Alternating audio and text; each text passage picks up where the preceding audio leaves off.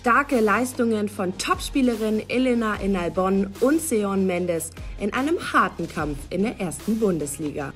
Am Sonntag treffen die Damen des TC 1899 Blau-Weiß Berlin und des TK Blau-Weiß Aachen aufeinander.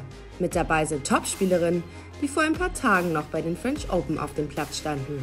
Ja, die French Open, das war, äh, war mega cool für mich, äh, unglaubliche Erfahrung. Und ja, wie gesagt, ich spiele schon seit zwei Jahren für diesen Club, bin aber nicht hier zu Hause, also ich komme einfach ähm, für verschiedene Bundesligaspiele und es ist mega cool, diesen Club zu vertreten. Elena in Albon will sich auf der Weltrangliste nach oben kämpfen und ist derzeit auf Platz 137.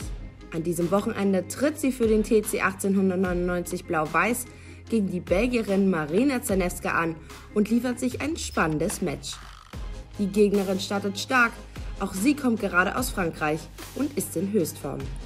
Den ersten Satz muss Inalbon an Zanevska abgeben, doch die Schweizerin bleibt hartnäckig, setzt ihre Gegnerin unter Druck und übernimmt im zweiten Satz die Führung.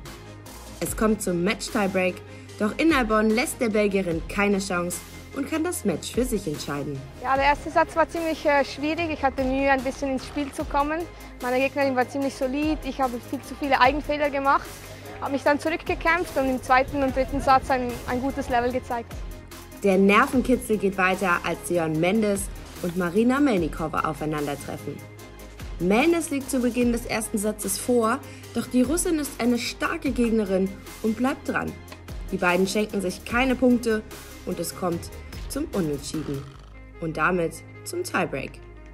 Auch dieser bleibt hart umkämpft, doch am Ende kann Mendes den ersten Satz für sich entscheiden. Der zweite Satz geht genauso spannend weiter, mal liegt Mendes vorn, mal Meldikova.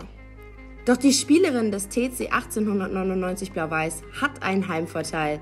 Ihre Fans feuern sie an und so kann Mendes auch im zweiten Satz dominieren. Ich liebe es hier zu sein. Ich liebe die Atmosphäre. Die Menschen hier sind fantastisch und unterstützen das Team.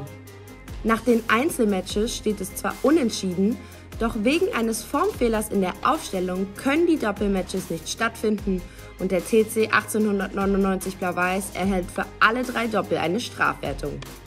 Durch die Niederlage rückt das Team von Alexander Dersch damit auf den dritten Tabellenplatz. Entmutigen lassen wollen sie sich aber nicht. Wir machen da kein großes äh, Theater draus, sondern wir nehmen es einfach so hin, wie es ist und äh, resumieren einfach eine überragende Saison, in der wir jetzt, wie gesagt, am letzten Spieltag schon die Klasse gehalten haben. Wir haben heute den Zuschauern ein äh, Riesenspektakel geboten. Der TC 1899 Blau-Weiß hat an diesem Spieltag ohne Zweifel starke Leistungen erbracht und Stärke bewiesen.